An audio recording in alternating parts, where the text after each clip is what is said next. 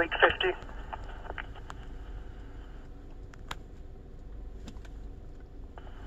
Six Lake 50.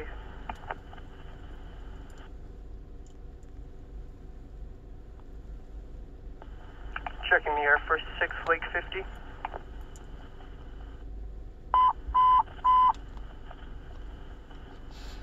This is the final radio call for 6 Lake 50, Officer David Romrell, who was killed in the line of duty on Saturday, November 24th of 2018.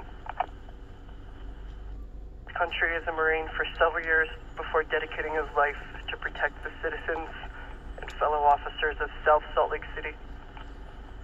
His time as a police officer was cut short, only 11 months, but during that time he taught us about bravery, strength, and honor.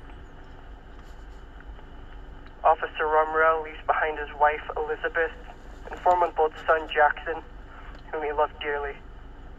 He impacted all who knew him, and the void he leaves behind will never truly be filled. His memory will live on with the officers he worked with. They will always remember him and will continue to serve in a way that will honor him and the person he is. Let us honor his sacrifice by observing a moment of silence as he answers the final call.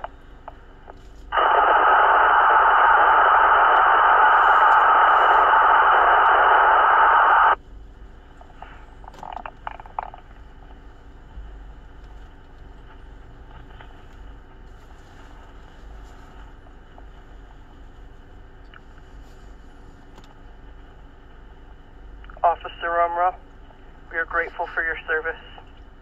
Your ultimate sacrifice will never be forgotten. We have the watch and we'll take it from here. 6 Lake 50 is 1042 for the final time. End of watch at 1555.